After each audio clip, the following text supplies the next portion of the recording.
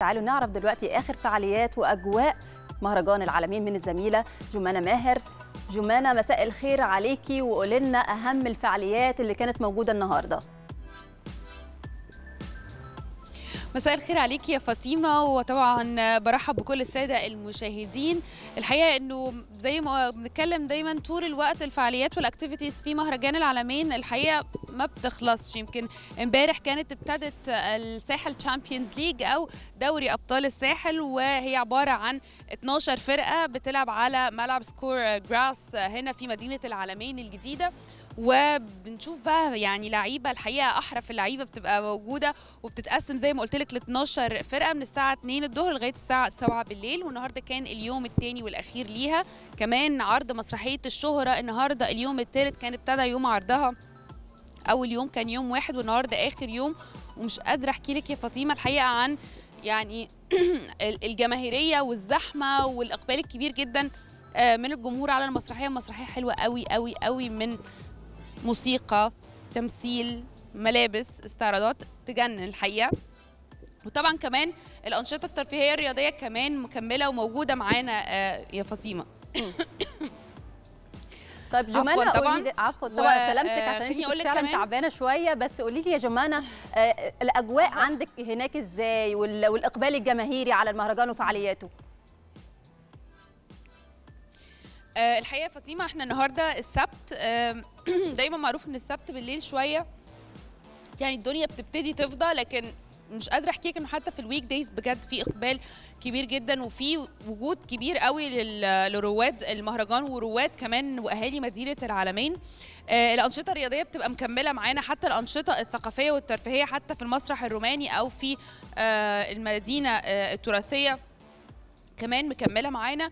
مش قادرة أحكي لك الحقيقة عن مدى قوة حفلة كأس التسعينيات وكمان حفلة طبعا النجم رامي جمال. كان يوم الخميس كانت حفلة نجوم التسعينيات ويوم الجمعة كانت حفلة النجم الكبير كمان رامي جمال.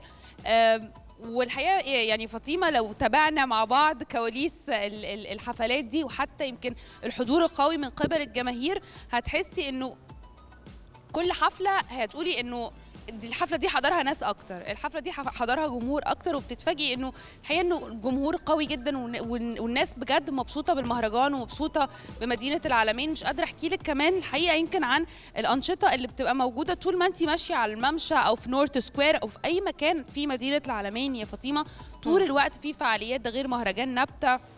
للأطفال. غير حتى منطقة اللي ليها علاقة بالحيوانات الأليفة. يعني زي ما قلت لك حاجات كتير جدا والنهاردة للأسف اليوم الأخير لعرض مسرحية الشهرة لكن في عروض مسرحية مهمة جدا جدا جدا مكملة معانا على مدار أيام فعاليات المهرجان لغاية 30 8 في مسرحيه في مسرحية السندباد طبعا. مسرحية النجم الكبير كريم عبد العزيز. أفندم؟ مسرحية السندباد لكريم عبد العزيز ونيلي كريم كمان جاية. صحيح. صحيح ونيلي كريم وفي مسرحيات كمان تانية على مدار ال ال الشهر الجاي أو ثلاث أسابيع اللي جاية.